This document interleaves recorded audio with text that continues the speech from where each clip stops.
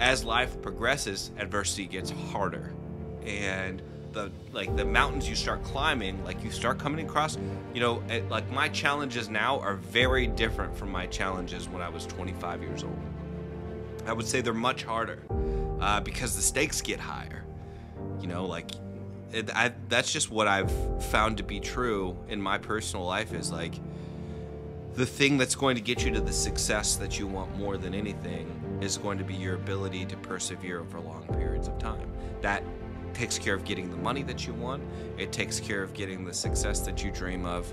Uh, it puts you in the place that you want. Can't quit. Can't give up. If you do, you you lose. That's the way you lose. That's how we do it at Southwind. Yeah. Throw your lightning bolts up.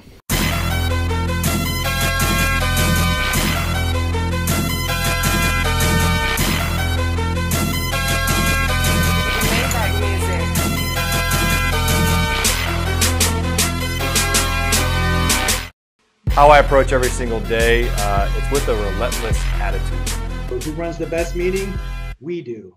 Don't do the easy thing, do the hard thing, and just try to be the best. and most importantly, never quit. You're gonna come to points, times that you it's just hard.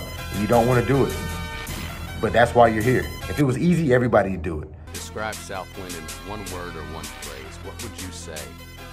If I was going to tell somebody, I go, it's real.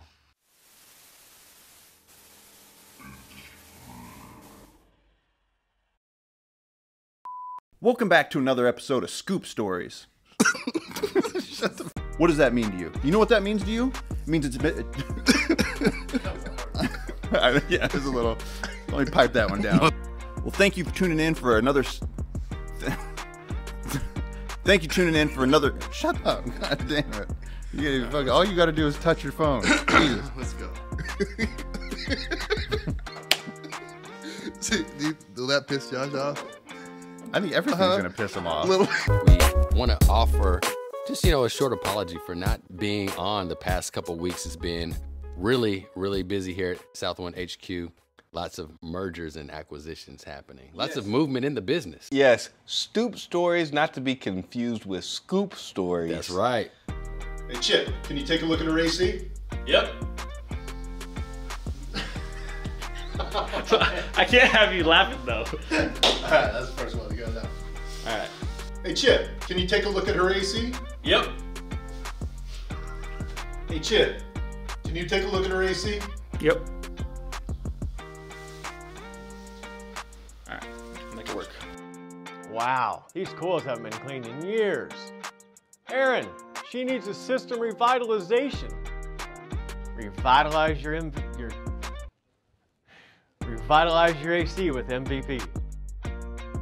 Chip, can you take a look at her AC? Yep. Wow, these coils haven't been cleaned in years. Aaron, she needs a system revitalization. Revitalize your AC with MVP. Yes.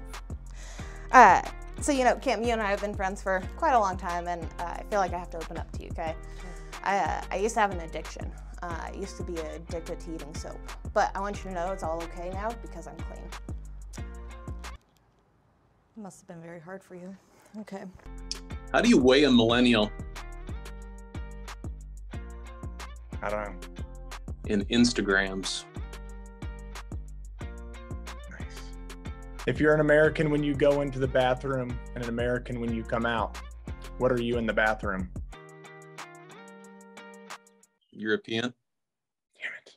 Before I worked at Southwind, uh, I was actually the, the head of Old McDonald's Farm. My actual title was the CIEIO. Right, Jeff, I saved my best joke for last. Are you ready? I'm ready. Can't wait.